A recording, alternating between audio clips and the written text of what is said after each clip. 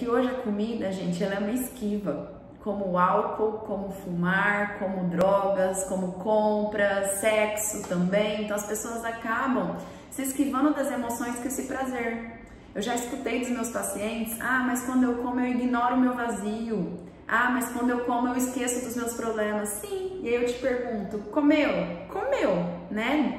Muitas vezes em excesso. Resolveu o problema? Não resolveu. Talvez você esteja arrumando outro. Então, se não é fome, comida não é a solução. Então, busque entender isso, reflita. Não é uma obrigação, não é uma posição, mas para você mudar os seus resultados, você vai precisar se comportar diferente, tá? Então, troca o não posso por não quero, aprenda a mastigar, aprenda a dizer não. No começo, claro que rola um incômodo, mas isso é libertador demais e você mostra cada vez mais para o seu cérebro que você está no controle.